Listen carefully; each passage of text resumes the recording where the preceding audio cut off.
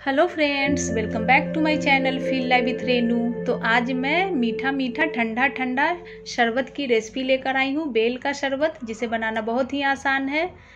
But उससे पहले मैं आज आप लोगों के साथ अपने छत पर का कुछ व्यू शेयर करूँगी कि क्या क्या लगा हुआ है। तो ये देखिए, ये मिंट है हरा हरा ये साग लगा हुआ है। ये कट करने के लिए रेडी है। ये देखिए कितना घना है। मिंट ड्रिंक्स बहुत ही बेनिफिशियल है हेल्थ के लिए और आम के साथ चटनी भी बनता है, कच्चे आम के साथ। ये देखिए, खीरे का पौधा लगा हुआ फ्रेंड्स, और इसके सपोर्ट के लिए रस्सी बांधा हुआ है और ऊपर से शेडिंग किया हुआ है। ये साग है जो कट करने के लिए रेडी हो गया है, क्योंकि 10 से 15 दिनों में जो खीरे का पौधा है वो अच्छे से ग्रो कर जाएगा तो ये घना हो जाएगा। तो इसलिए इसे हम लोग कट कर लेंगे। उधर कुछ फ्लावर्स लगे हुए हैं।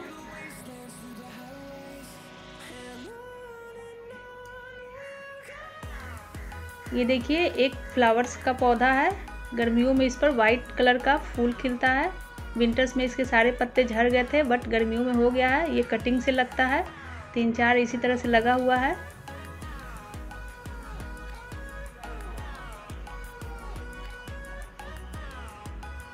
इधर भी कुछ खीरे के पौधा लगा हुआ है।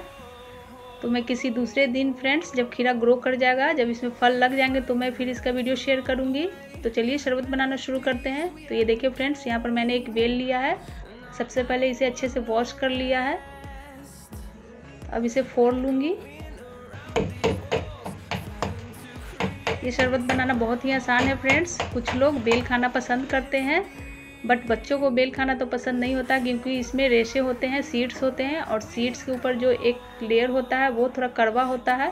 इस वजह से बच्चे बेल खाना नहीं पसंद करते हैं और बेल है जो हमारे हेल्थ के लिए बहुत ही फ़ायदेमंद है। पेट से जुड़ी समस्याओं में ये बहुत ही फ़ायदा करता है। तो अब मैं इसके सारे पल्स निकाल लूँगी और ये शरबत तुरंत बनकर रेडी हो जाता है। तो शरबत बनाएँ और अपने बच्चों को पिलाएँ क्योंकि उन्हें पता ही नहीं चलेगा। कि किस चीज़ का शरबत है और तुरंत फिनिश कर देंगे। तो मैंने इसमें ठंडा ठंडा पाँच गिलास पानी डाला है और हाथों को अच्छे से वॉश करके इसे मैश कर दूँगी। इसके सारे जो गुद्दा है पल्प है तो ये देखिए हो गया है। अब मैं एक दूसरा बर्तन लूँगी और इसे स्ट्रेन कर लूँगी।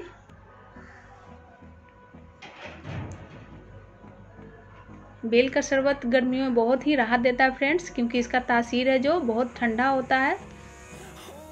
तो ये देखिए, इस तरह से हाथों से मैंने मैश कर दिया है। तो सारा पल्प है जो निकल गया है और थोड़ा सा बस रेसा और सीड्स रह गए हैं। तो देखिए, हमारा शरबत बनकर रेडी हो गया है।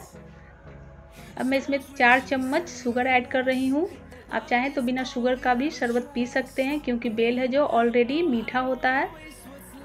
तो मैंने थोड़ा सा चीनी डाल दिया, क्योंकि इससे शरबत का टेस्ट है जो और ज़्यादा बढ़ जाएगा। शरबत का मतलब बहुत ज़्यादा मीठा मीठा तो चलिए अब सर्व कर लेते हैं शरबत को। तो इसे ज़रूर बनाएँ फ्रेंड्स और अपने बच्चों को पिलाएँ, खुद पिए। अगर आपको ये मेरा वीडियो पसंद आया हो तो एक लाइक कर दें, ज़्यादा से ज़्यादा शेयर करें। मेरे चैनल पे नए हैं तो उसे प्लीज़ सब्सक्राइब करें। फिर मैं मिलूँगी एक नए वीडियो के साथ। तब तक के लिए थैंक यू।